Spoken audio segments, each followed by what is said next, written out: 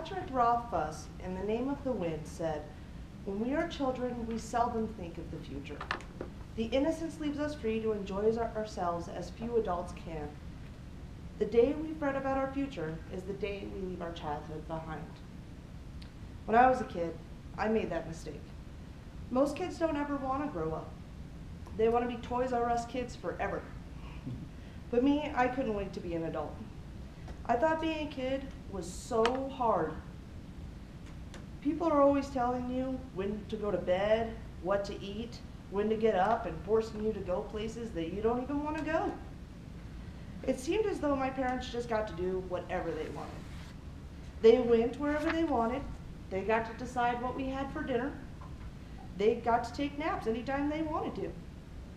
I guess it never really occurred to me that they had to go to work, but I definitely noticed that they had more money than I did.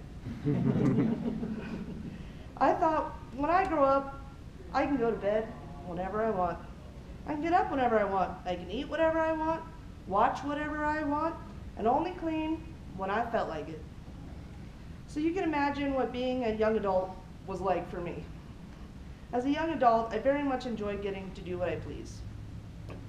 I stayed out with friends until 7 a.m. I ate ice cream for breakfast and bacon for lunch.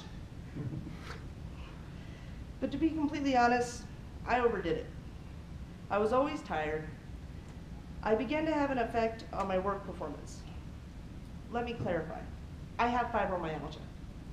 To those of you who may not know what fibromyalgia is, it is extreme fatigue and body pain caused by overactive nerves. I was diagnosed when I was 17, and I've always been able to manage until I became an adult.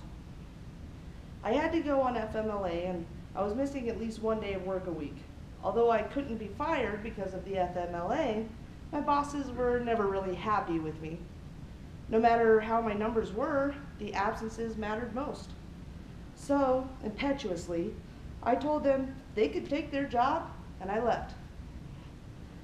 But I didn't stop partying, and I quickly lost my next job for missing work. With no income, bills piling up, I subsequently moved back in with my parents.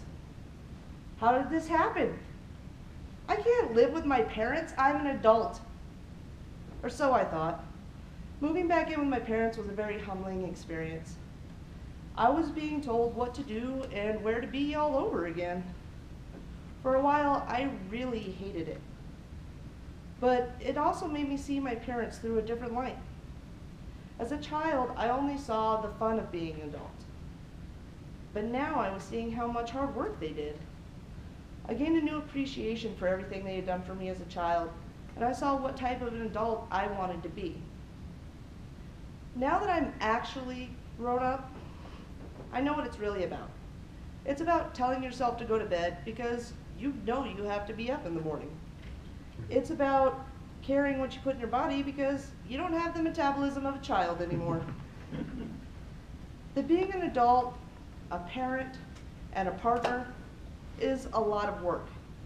I've learned that quiet time with my family is much more important than partying. I realized that all of the naps that I saw my parents enjoying was just them trying to get the most of the quiet moments in life. Virginia Woolf said it best, growing up is losing some illusions in order to acquire others.